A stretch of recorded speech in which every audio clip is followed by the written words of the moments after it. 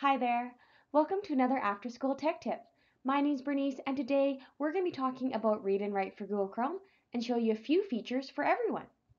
And if you're interested in more like this, don't forget to subscribe to our channel, check back for weekly videos, and connect with your tips member for more information. Okay, so here we have our read and write for Google Chrome. And what you'll see here is if I highlight some of the basic features is the ability to play, pause, and stop. So if I go ahead and press play, it's going to start reading it. I can go ahead and press pause, or alternatively, I can stop that. But there's other read and write features as well. One of them, for example, is the check it button. And so this check it button here on the left hand side with the check mark, you know, does a quick grammar check or will look for um, incorrectly spelled words or things like that. So let's say, for example, um, I'm going to go ahead and spell hidden wrong. I'm going to go ahead and click the check it. Um, and when I click, click check it, um, it's going to look through that document. Um, sometimes you do need to refresh it in order for that to work. And so when I've now refreshed that and gone ahead to go ahead and loaded the read and write bar, and I click that button again, it's going to now highlight that and you can see that there's a purple line I go ahead and click that, I can now pick the word that it is supposed to be, and that's going to go ahead and fix that. Another one then is um, word prediction here.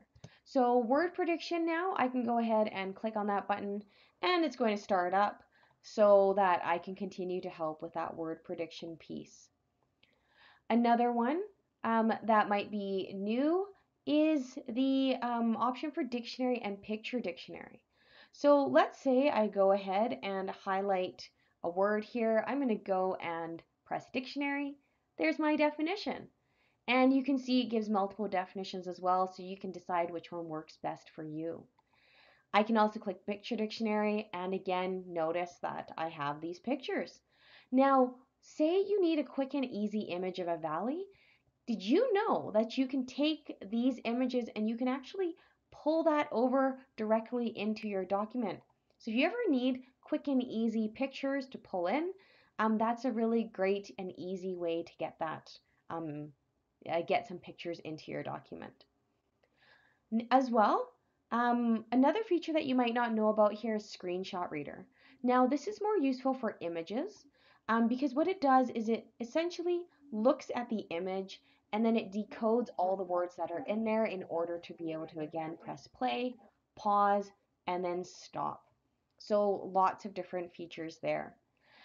Now, one really, really great feature in terms of accessibility is this screen masking button. And you'll notice that once I click it, um, essentially it's going to highlight specific areas and you can customize this, and students can use this too to customize this to how they want it to be best. And what it really does is it eliminates distractions. Um, you can really focus in one area. And so if I click on the settings button here, I can go ahead and change the background to be a different color, perhaps. I can also go ahead and change it then to be a different color for the reading light. Um, and so completely up to you what you want that to look like.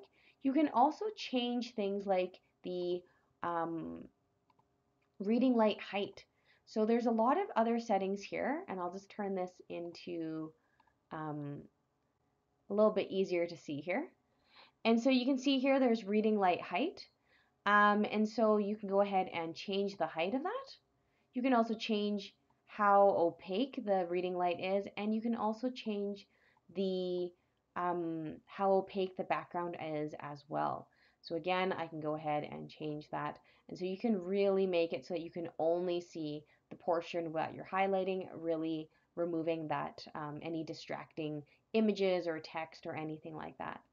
And then to turn off the screen masking, you can go ahead and click that button and that's going to do that. While we're in the settings area, there is the ability to change um, the toolbar view. So if you don't like it horizontal, you can move it to vertical um, or you can move it to where it only pops up um, with writing as well. Another piece then is the talk and type. And so a lot of times with talk and type, you do need to make sure that it has access to your microphone, but I'm going to go ahead and click talk and type. And what it's going to do is it's going to take everything I say and continue to put that into words. As I do that, you'll see that it is recording because you can see that this has a microphone that is in red. When I click on that then, it's going to stop. And one thing to notice is that you can change the language. There are lots of different languages that you can use, but something I want to highlight as well is all of these different English within brackets. Um, like so for example, English Australia.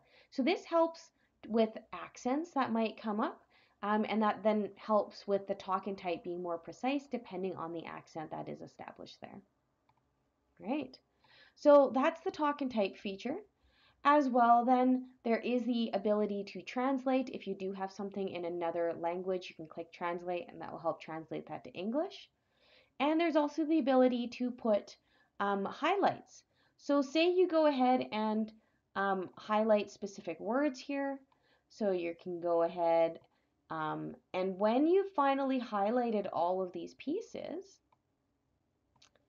um, you can collect these highlights. So if I click collect highlights, you can choose and customize what you're collecting. But what it's going to do is going to pull all those highlights to another document. And basically, if you were collecting notes or highlighting anything, that would all go in there. Alternatively, since I highlighted specific words, you can also do that to create a vocabulary list.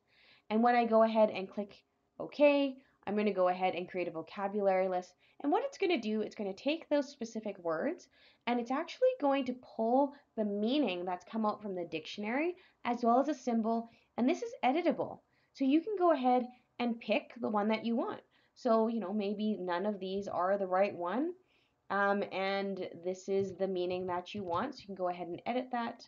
Um, maybe that is the symbol that you want, and then you can go ahead and add the notes that you want in it um, as well. Another one um, to show you is the ability for voice notes. So students can leave voice notes, you can leave voice notes as well. But essentially, you can go ahead and click on that button. You can go ahead and record yourself, and that's going to be recorded into a note, 60 seconds maximum. When I press uh, stop and click comment, that's going to go ahead and comment right there and put that in.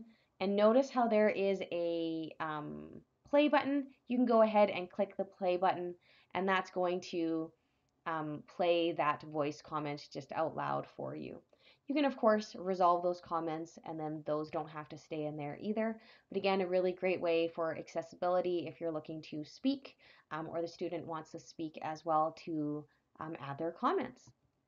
Now, finally, I want to also talk about um, some of the features that exist in the web area as well. So a lot of the features I showed you exist in like docs and slides, um, but specifically with the website, there's a few other ones that I wanted to show you. Um, and the one here is Rewordify. So when you click on Rewordify, what it's going to do is take words in there and you see that it's become italicized. So you can go ahead and click on that and it's going to essentially give you another definition. So it like rewords um, it to be easier to understand. And then of course I can go ahead and click back on that to get it to be um, a specific word, uh, back to the word that it was. The other one that I wanted to show you is the simplify page. And so simplify page is again, um, what it'll do is take all of the information on the page and, you know, depending on the page, some work better than others. So I'd really say to experiment with these. But what you can do is when you simplify, you can make it less simple or you can make it more simple. Um, but there's also all of these other features where you can make it white on black text uh, or white white text on black, um, you know, blue on yellow and all those different pieces. There's also different fonts that you can add in and you can also change the size of the font as well. So if that's something that makes it a little bit easier to read, that's something you can do. And you'll notice these different fonts. So say I wanted in Comic Sans, or maybe I wanted an open dyslexic font, right? Um, all of these are different fonts that you can go ahead and use, um, again, to make it just easier to read in general. Last but not least here, then you can also see um, you can change the line spacing to make it again easier to read as well.